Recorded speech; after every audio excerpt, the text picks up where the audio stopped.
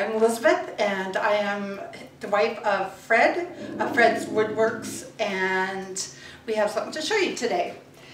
I used to be a yarn dyer, and when I was starting out, I found that the skein machines were very expensive, and it took me months and months of hard work before I could afford to get one.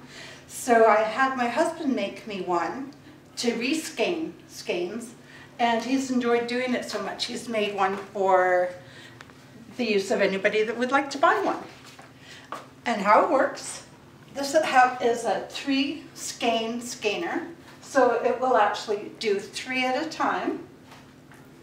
And you just put your yarn through the guide hole. The glasses on my head would serve me better actually on. Just wrap it around a couple of times it'll catch.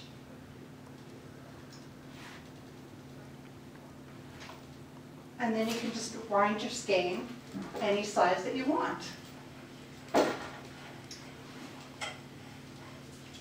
This goes very quickly, but I'm not going to do it quickly because the camera won't catch it. So there's three that you can do. These arms here are completely adjustable. So you can literally make any size skein that you want. And the hardware is solid. It's easy to move the arms up and down. There's guides at the side here so that you can set it consistently time after time. It's well built. All of the edges have been routed. It's a good looking machine and it's been stained with a very clear type of stain to enhance its beauty and not take away from the beauty. And that's it for this segment. Thank you.